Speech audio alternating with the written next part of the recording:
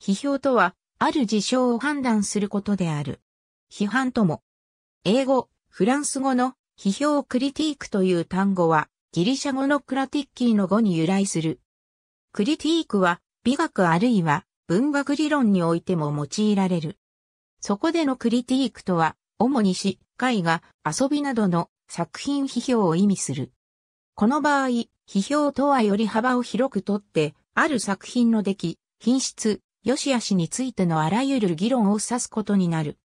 文芸批評には、批評理論というのもある。哲学の分野ではしばしば、批判とも言う。イマヌエル・カントが人間の認識能力に関する限界や妥当性についての反省的な考察という意味でクラティックを用いた。この文脈では、クラティックは批評ではなく批判となる。しかし、クラティックもクリティークも、それ自体は日本語における批評と批判、どちらの意味合いも含んでいる。さらに今日の哲学におけるクリティークという単語は、概念、理論、研究の方法論や原理、あるいはそれらを用いた具体的な分析手段などについての諸条件や因果関係に対して体系的な問いを立てること、またそうした概念、理論、方法論、分析手段の限界や妥当性を理解しようと努めることというような意味に拡張されている。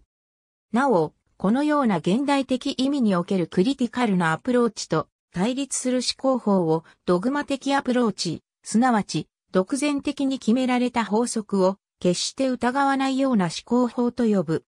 政治理論の文脈においては、カール・マルクスの唯物論を継承したフランクフルト学派の批判理論、クリティカルセオリーにおいて、批判という意味合いでのクリティークの継承が見られる。また、ミシェル・フーコーやアラスデア・マッキンタイヤの権力批判も、そのやり方は著しく異なるものの、社会批判の文脈にある。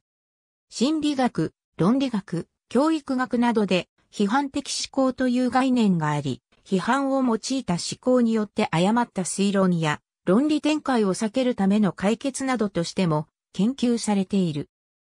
ありがとうございます。